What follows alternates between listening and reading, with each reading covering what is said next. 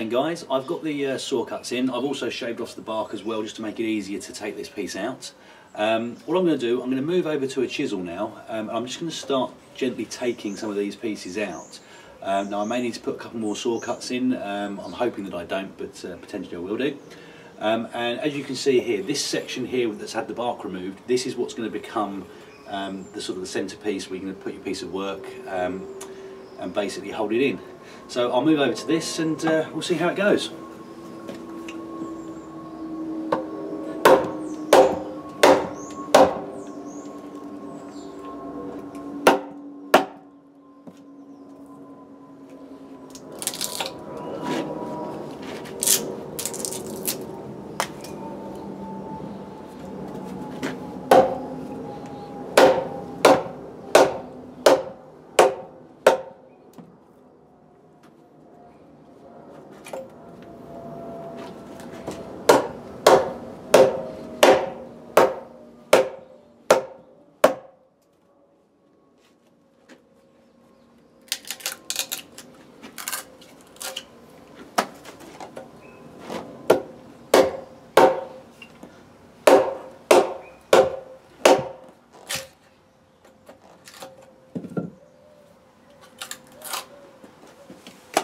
Now I think looking at this guys, um, a couple of extra saw cuts probably would have been a good idea.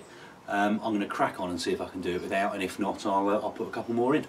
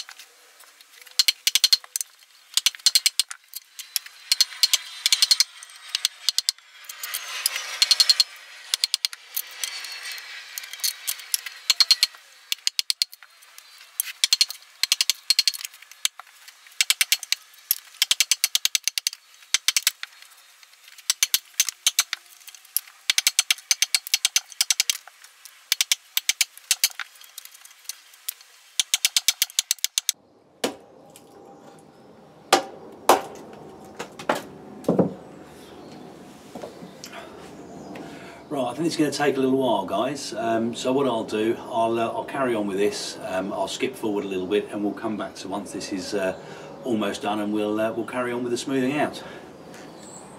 Okay, guys. So here we are, and pretty much the uh, the finished product. So I've removed all of the wood from inside, as, as we've uh, discussed.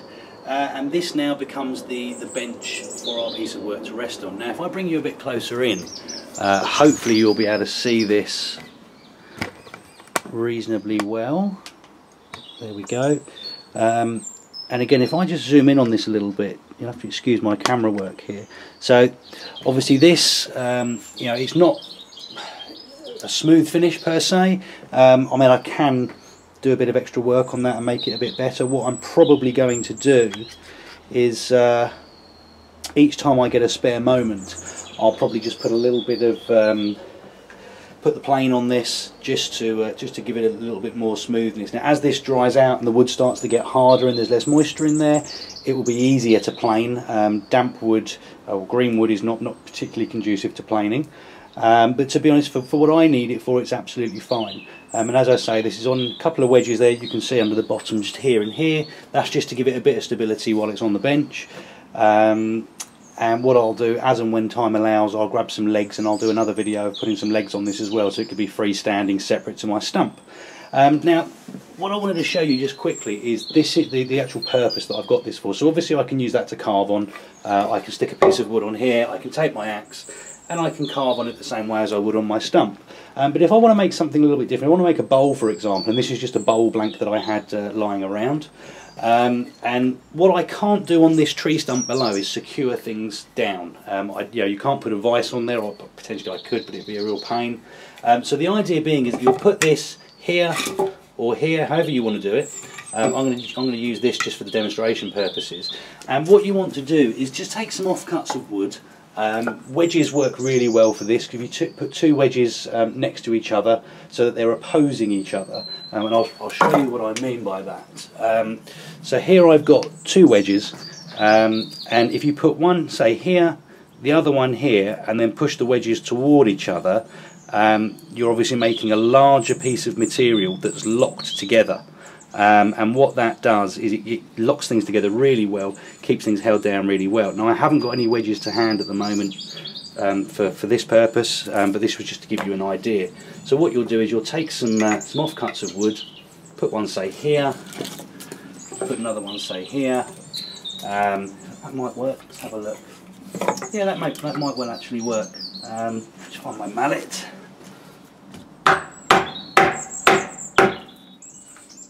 Yeah, okay. So basically that's what you're looking to do. I mean you can do that in 101 different ways. You, you can make specialist wedges, you can just grab what offcuts you've got. Um, but what that basically does is allows you to manipulate this. You know, you can start using a, um, an adze on here, you can use your axe, you can use chisels, you can use gouges. And what it does is it just keeps this locked in place while you're doing that. Um, now I don't know if you've seen any of my other videos. There's a, a, four part series of me making a bowl similar to the blank I've got there um, and one of the problems I had on the uh, on the tree stump is that I had to keep sort of um, driving things into the tree stump to try and secure the, the bowl blank down um, and that doesn't really work very well. Um, it can be done and I have done it in the past but this uh, the reason I wanted to make this is this will allow me to sort of lock things in nice and tight um, I don't have one to hand, but if you imagine this is a, a, a gouge or a chisel, you know, I can work on this to my heart's content. I can move this around if needs be. I can move it to wherever I want it to go. Um, same as when I put the legs on it, I can walk around it 360 degrees. Um, and it just allows me to, to, to, have a bit more versatility. Uh, and the reason I needed a log this large is there's quite a bit of weight to this log um, and it, it, just uh, absorbs some of the shock and it absorbs some of the um, the impact from when I'm uh, I'm using carving tools um, and it transfers all of that energy straight through into the piece that I'm working on. Right then guys, well I really hope that was helpful. Um, I hope it's maybe given you a few ideas of uh, something maybe you can make for yourself. Um, you know, the, the purpose of this is twofold. It's A, I've wanted to make one of these for a while and it's, it's really useful for the type of carving I do. Um, I also don't want to go out and spend a lot of money on either pre-cut timber to make my own um, you know, carpenters or workbench um, and I don't certainly don't want to go out and spend hundreds and hundreds of pounds on a, a, a pre-made you know shop bought uh, work table.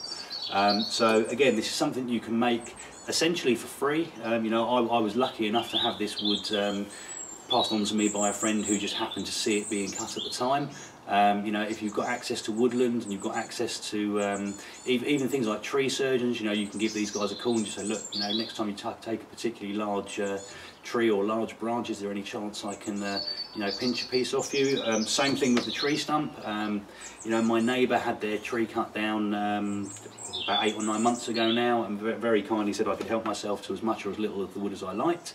Um, so I've got a lovely uh, carving stump. I've now got a nice carving bench that I can use on here by having a couple of wedges just to give it some stability. Um, and alternatively, when I get the chance, I'll put some legs on as well.